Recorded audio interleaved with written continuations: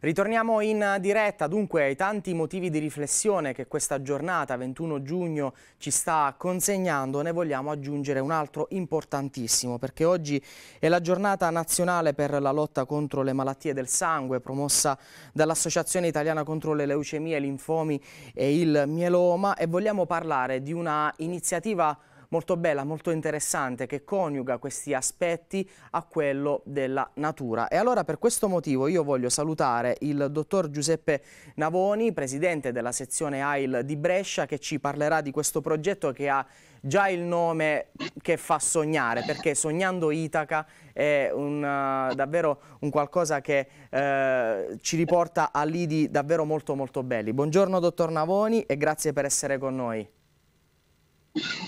Buongiorno a lei telespettatori. Allora, partiamo dall'inizio, dottor Navoni. Il eh, progetto Sognando Itaca, questa vela terapia, questo progetto di riabilitazione psicosociale per pazienti con tumori del sangue, da dove nasce e perché nasce?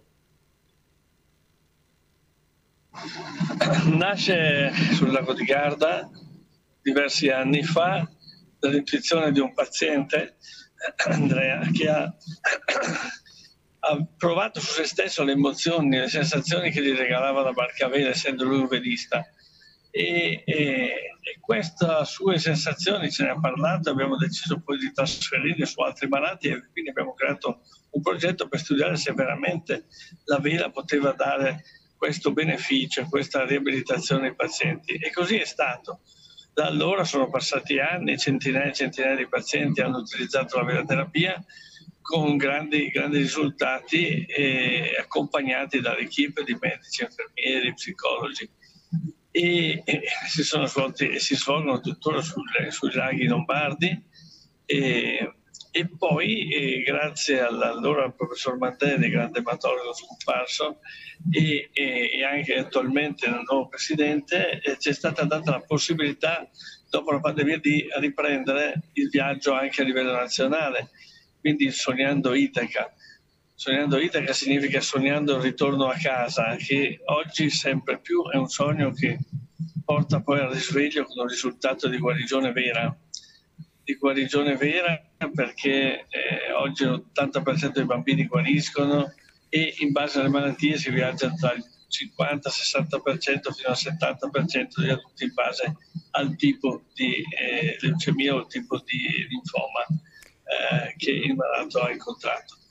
E, ecco, questo progetto d'equipe è molto bello e molto importante e quest'anno siamo partiti da Trieste il 10 di giugno e scendendo lungo l'Adriatico, toccando le tappe di Venezia, poi Ravenna, Rimini, Pesaro, Ancona, Pescara ed ora eh, stiamo arrivando, la barca sta arrivando a, a, a Trani e per poi chiudere il 23 a Brindisi.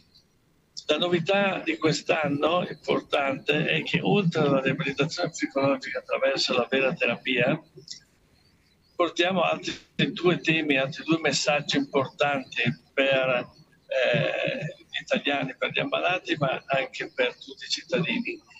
E sono quelli della tutela dell'ambiente, quindi ambiente e salute è un binomio scindibile e noi abbiamo visto che eh, purtroppo l'inquinamento e la, la, malattia che ha il mare, che ha anche la terra, comporta, comporta ulteriore presenza di tumori, tumori del sangue e mm-hmm. tumori solidi.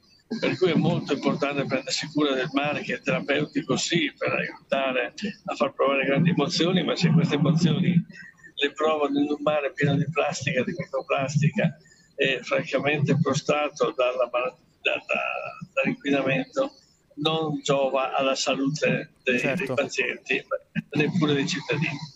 Dottor Navoni, questo... io voglio, voglio, dare qualche numero anche per ehm, ecco, focalizzare anche l'attenzione su quello che è l'impegno non solo eh, dell'AIL eh, di Brescia, ma più in generale di tutto il, eh, il, mm, dire, il, movimento italiano. 83 sezioni coinvolte nella promozione, 3 conferenze stampa dedicate, 10 città coinvolte, lei le ha citate, adesso siete in viaggio verso Trani, ecco anche perché vediamo la telecamera del dottor Navoni eh, muoversi.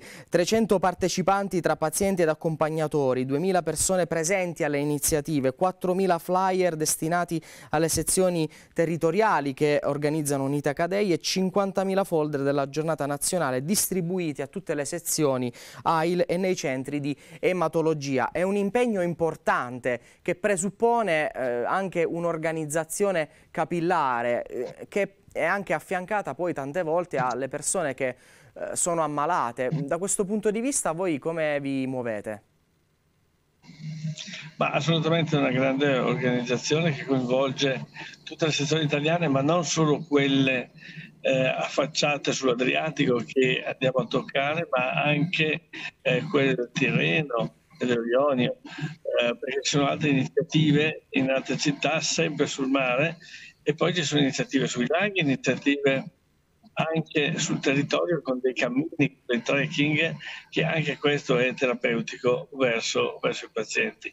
In una uh, grande eh, simbiosi, diciamo così, dove la riabilitazione psicologica, dove la natura eh, che è terapeutica e, e, quindi queste iniziative vanno a portare dei messaggi forti. Quest'anno, come dicevo, oltre all'ambiente e la riabilitazione si è aggiunta anche eh, l'alimentazione e salute. Mm-hmm. Quindi l'abbiamo visto partendo dagli ospedali, l'alimentazione dei pazienti che stanno purtroppo per un lungo periodo ricoverati in ospedale rispetto ad altre patologie dove hanno dei tempi di degenza molto brevi, i tempi purtroppo sono molto lunghi, quindi è importante alimentarli correttamente in modo che recuperino, recuperino il prima possibile, ma questa alimentazione va migliorata anche a casa e eh, ovviamente il messaggio di, una corretta alimentazione diventare dei consumatori consapevoli va allargato alle famiglie, va allargato ai cittadini certo. perché a, oggi abbiamo bisogno di mangiare sano, mangiare correttamente, sapere eh, trovare anche la provenienza dei prodotti, ma soprattutto prodotti che vengono da, sia da terra sana o dal mare, che non sia troppo, troppo inquinato. Troppo Quindi è molto importante proteggere il nostro ambiente per il futuro, ma anche per la nostra salute. Senta, dottor Navoni, come si svolge una giornata in barca a vela? Ce lo spieghi? Beh, intanto devo ringraziare l'equipaggio, un'equipe composta da skipper, eh, da un'infermiera, da un medico, da una psicologa e beh, eh, la vita non è, non è facile perché dopo l'uscita con i pazienti nella città che andiamo a toccare, dopo la conferenza stampa che, per divulgare queste tematiche importanti, c'è il trasferimento per la tappa successiva, quindi si viaggia anche di notte. È una, una, fatica che viene fatta volentieri perché il cuore si riempie di gioia quando vediamo il sorriso e la gioia dei pazienti è estremamente contagiosa e la soddisfazione, anche se c'è un po' di stanchezza, è grande, veramente grande. L'ultima domanda che voglio farle prima di lasciarci è quali immagini le restano prima e dopo ogni tappa? Ah, le immagini sono tante, la passione, la passione di tanti volontari e presidenti AIL che lavorano quotidianamente per stare vicino, per supportare i malati con le iniziative locali, le case di accoglienza, l'assistenza domiciliare, tantissime sono il trasporto dei malati, le attività che svolgono le sezioni AIL provinciali italiane. E, ma la cosa che ti rimane nel cuore è l'abbraccio e il sorriso dei pazienti perché eh, scendono dalla barca che, e dalle barche che accompagnano la nostra imbarcazione perché anche altre eh, barche escono con, grazie alla disponibilità di, di armatori locali a fare da contorno con l'appoggio anche delle istituzioni, la Guardia Costiera, i Carabinieri, eccetera.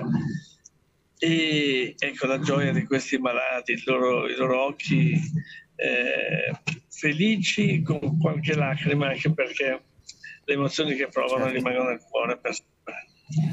Dottor Navoni, allora io la ringrazio di cuore per essere stato con noi e anche se il collegamento in questo viaggio insomma non è stato dei più comodi, abbiamo davvero eh, approfondito in maniera direi utile questo progetto molto molto interessante. Le auguro un buon ritorno ad Itaca. Grazie, grazie e un buon vento a tutti. Grazie, grazie. Ringraziamo il dottor Giuseppe Navoni per la sua disponibilità a parlare di questo progetto davvero molto molto interessante. Avete visto anche nel nostro Ledduole in onda i eh, siti internet di riferimento per chi volesse approfondire eh, ovviamente tutte le tematiche relative a questo progetto dal nome così evocativo, lo stiamo rivedendo in questo momento, può ovviamente digitare eh, su internet eh, le parole chiave Sognando Itaca e troverà tutti i riferimenti. Noi adesso ci fermiamo per la pubblicità e poi ritorneremo ancora insieme.